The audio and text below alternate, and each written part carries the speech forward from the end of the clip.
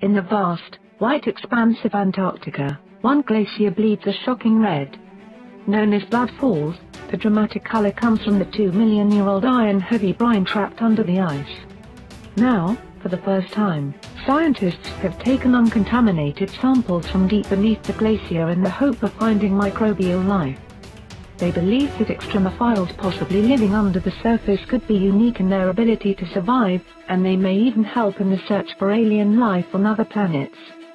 Scientists recently sent a probe into the ice of Taylor Glacier to extract salty samples of water from the main vein that feeds the red-stained feature.